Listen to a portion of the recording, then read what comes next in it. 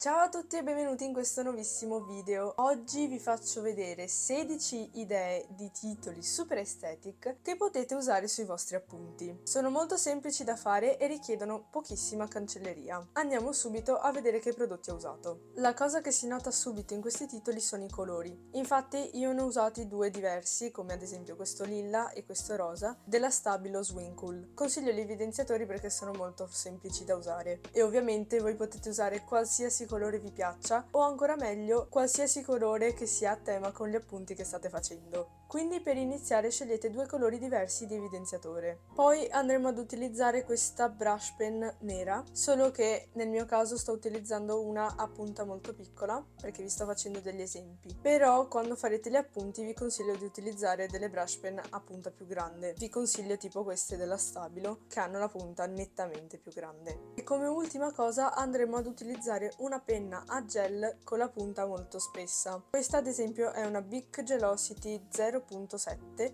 a inchiostro nero che è veramente scorrevole e a me piace molto come penna quindi ve la consiglio. Ora direi proprio di iniziare. Per il primo titolo vado a fare una semplice linea ondulata con l'evidenziatore per poi scrivere il titolo in piccolino con la penna. Per il secondo inizio a scrivere il titolo con la brush pen e aggiungo semplicemente due linee agli estremi. Per il terzo scriviamo sempre il titolo in lettering e aggiungo quattro linee usando entrambi gli evidenziatori. Per il quarto faccio due linee ondulate usando entrambi i colori per poi scriverci il titolo in lettering sopra. Per il quinto scrivo con la penna il titolo in stampatello e aggiungo delle ondine agli estremi. Per il sesto faccio due linee con entrambi i colori e poi scrivo il titolo in lettering. Il settimo lo trovo ancora più carino. Andiamo a fare dei quadratini con entrambi gli evidenziatori, alternati. Vi consiglio di contare le lettere del titolo che andrete a scrivere per agevolarvi e non sbagliare. E poi all'interno andate a scrivere in maiuscolo con la penna. Per l'ottavo andate a scrivere il titolo in lettering e questa volta aggiungo le ondine doppie. Per il nono titolo andiamo a fare una linea con l'evidenziatore e poi scriviamo con la penna il titolo che diciamo viene tagliato da questa linea.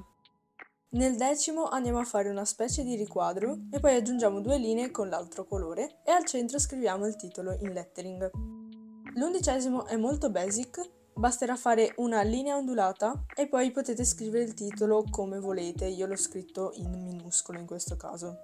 Il dodicesimo è semplice e anche bello da vedere, basterà fare una linea dritta, scrivere il titolo con la penna in maiuscolo e aggiungete una linea con la penna sopra e sotto.